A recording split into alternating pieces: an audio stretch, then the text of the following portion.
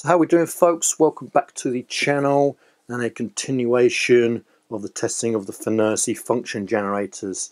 And on this occasion I've got the SG-003A, the SG-004A and the LB02 in on the act at the end there as well. So in the previous video that I'll leave a link to in the description box down below, you see I was controlling this little motor inverter here that was controlling the speed of the little motor with the SG-003A, got that all up and running, no problems whatsoever. And I was also reading the current back onto the input of the SG-003A via a voltage signal and converting that to the current.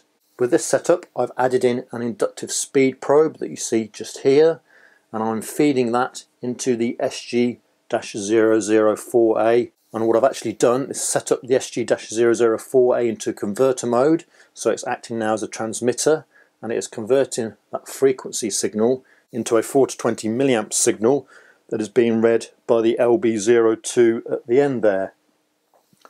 So this is my little inductive probe. It works from 10 to 30 volts. It's actually a cheapie from Amazon, so nothing too extravagant. And you can see here on the motor that I have an actual keyway and the inductive probe is operating off that keyway. You can see the little light is on the back there. As I turn the shaft on the motor, the little light goes out and then comes back on again as the keyway moves past the sensor head. I just swing round onto the actual instruments. So the two that are of most interest to us are the Fnirsi units. I'll just briefly go through the setup on the SG-003A, but it's exactly the same as I had in the previous video. Uh, if we go to the output that is providing a 4 to 20 milliamp signal out to the motor inverter, you can see that set up there. And if I go down to the range, you can see here the output signal is 4 to 20 milliamps, and that's equivalent to a range of 0 to 1500, which matches the speed on the motor there. And if we just quickly go to the input, you can see this is a voltage input, and we go down to the range, you can see the input is 0 to 10 volts and I've made that equivalent to 0 to 2 amps. So that's the SG-003A all running there. I have set this up so that the actual RPM is here on the motor and that's the main aspect I'll be using to control the speed of the motor. On the SG-004 over here you can see at the top of the input is a frequency input and if we go to input you see I've set Hertz up it's set as a pulse and if I go down to the range I've set this pulse as 0 to 25 Hertz coming in is equivalent to 0 to 1500 RPM. If I just go down to the speed set that's set in RPM with a turns per second of 1. So if we just go back out and if we go to the uh, conversion function first. If we go to function out, and I on the, the output is set as a milliamp, 4 to 20 milliamps. If I go and uh, let's go down to the range first. So the 4 to 20 milliamps here on the output is set as 0 to 1500 RPM to match the SG-003A. And if we just go across to the main settings menu and we go down to, you can go to convert. And then this convert function I've set the input, which is 0 to 25 Hertz, to be equivalent to an output of 4 to 20 milliamps. The other aspects that's of interest on this particular screen is to actually switch on the convert mode, which is done by auto run there. And what you have to do is actually set that to a check. Uh, so it goes off there. If I put it back on, that's the check mark there. And then you go back out of the menu and then you actually have to switch the unit off and then back on again. And then when that happens you will see hopefully I've got the camera set up right which I haven't. Just come up a little bit zoom in a little bit more. When you've repowered the unit back on you'll get CONV at the top here which indicates that the SG-004A is in conversion mode and is converting the input signal to whatever output signal you have selected. And then at the end there, you can see that the LB02 is set up in 4 to 20 milliamp mode and just uh, measuring the current coming out of the SG-004A. So the whole object of this is to make sure that the 4 to 20 milliamp signal being put in by the SG-003A should reappear on the LB02 at the end there is exactly the same milliamp signal if everything is working correctly. Unfortunately, I have really struggled to get this to go due to a number of reasons. The first reason is the interference, which I believe is being caused by the inverter. You can see I've got an oscilloscope set up here. It's just set on the input of the SG-003A, so it's measuring the switching signal coming from the inductive probe. So what I'll do is, do is just turn on the inverter itself and you can immediately see I've got a fair bit of interference on that screen. Uh, we'll start the motor up and just put a few RPM in on it so you can see the signal. So there you see there the actual um, signal on the oscilloscope. That's the switching of the inductive probe. And again, you can see a fair bit of interference on the actual signal there, although the switching lines do look to be fairly sharp. Um, so we are set to 600 RPM. Now I'm not sure whether you can see the frequency is 10.04 Hertz at the bottom there. If I just go down to my instruments, you can hopefully see that on the SG-004A I've got 10 Hertz coming in. That's equivalent to 600 RPM. And if we take a look back at the screen on the SG-003A, you can see that's reading 600 RPM. However, the current being put out is 10.40 milliamps. Unfortunately, that does not match the 8 milliamps being shown by the SG-004A. So what we'll do is just take the motor up to uh, 700 RPM. And you can see the second problem that I'm having now is this is bouncing around a fair bit. At 600 RPM, that's a nice round figure for the frequency to be calculated by. But unfortunately, the 700 RPM I've set it to now isn't. Um, and you see it's flittering between 11 and 12 Hertz. Uh, and that's equivalent to 660 to 720 RPM. Now that just appears to be an issue with the SG-004A and the frequency at 700 Hertz should be about 11.5 Hertz and unfortunately you haven't got the resolution on the SG-004A to display that so it's constantly flickering between the 11 and 12 Hertz signal coming in. But again if we look at the current that should be 11.466 milliamps for 700 RPM uh, but we're putting out between it switches 9.6 at the moment 8.8 and 9.6 as you see it switching there. So again I'm seeing a mismatch in this conversion that I just can't seem to put right. So what I'll do is I'll put up this table here. And you can see the kind of results that I'm getting. Uh, the left hand column on the table, that's the nominal motor speed. And then in the next column we've got the milliamp current being injected by the SG-003A to achieve that speed. And then the next three columns are measurements from the SG-004A with the RPM that it's calculating based on the frequency measurement in Hertz. And then the milliamp signal that that is then putting out to the LB02. In the final column on the right hand side you've got the differential between the current being injected by the SG-003A and that being measured by the LB02.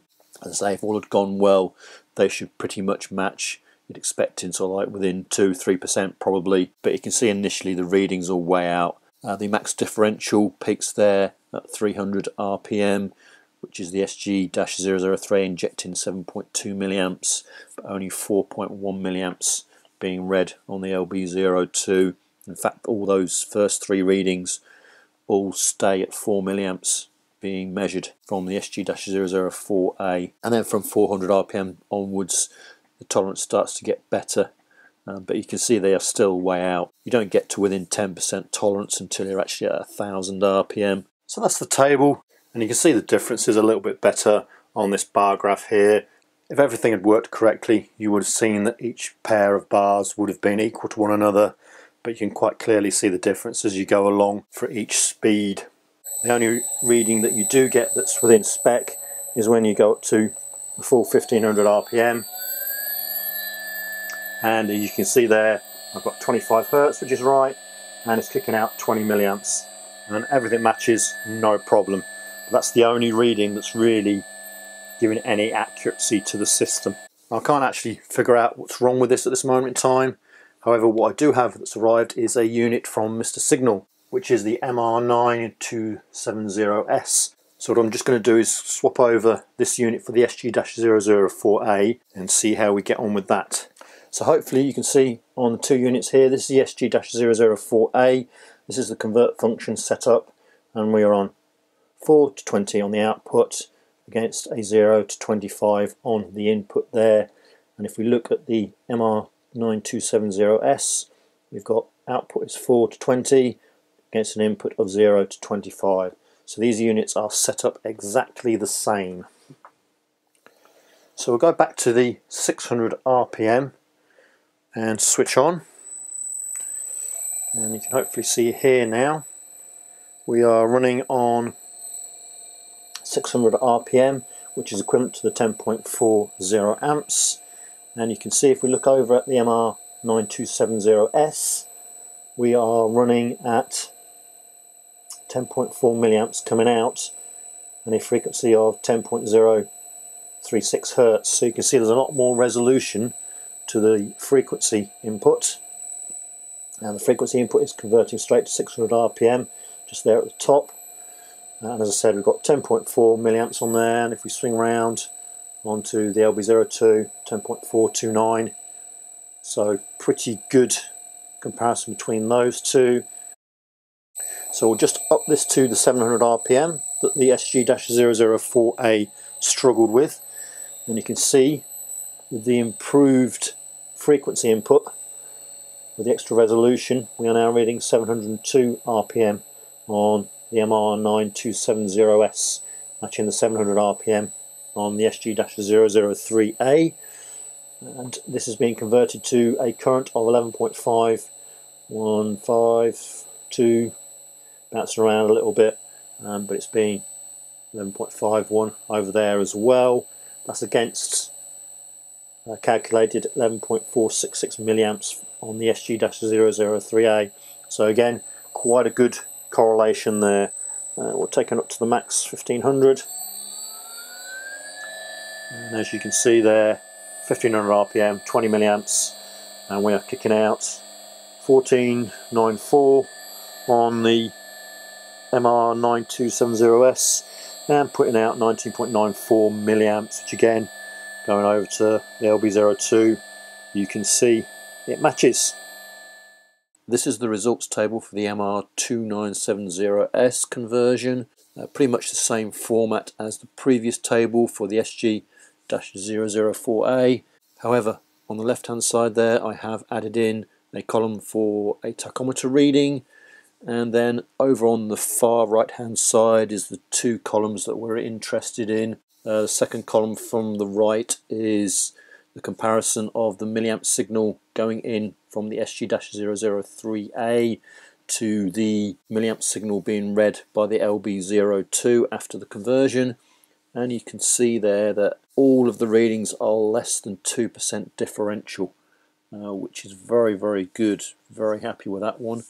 Um, and in actual fact there's only five of the readings that are above 1% so those other 10 readings are actually below 1% differential. And then just over the very last column is the comparison of the tacho reading to the speed calculation from the MR2970S and you can see that there's only one of those that is over 1% the 600 RPM reading uh, is 1.1% differential so yeah, excellent set of results from the MR2970S. Uh, I look forward to doing some more testing on that unit. So it looks like that there's a bit of an issue with the SG-004A and the way the signal conversion is working. It certainly doesn't seem to be working the way I expect it to with this inverter, but the MR9270S is functioning as I expect with exactly the same setup. So whilst playing around with these instruments a little bit more, you can see I've got everything kind of propped up against a box here that the oscilloscope is sat on. And I've got my little Wera ratchet here set up strategically in front of the meters. What you find with the Fnirsi instruments is that they sit there quite nicely. Um, there's no problem with these slipping around, the construction of them and this rubber moulding uh, makes it quite grippy against this surface, no problems.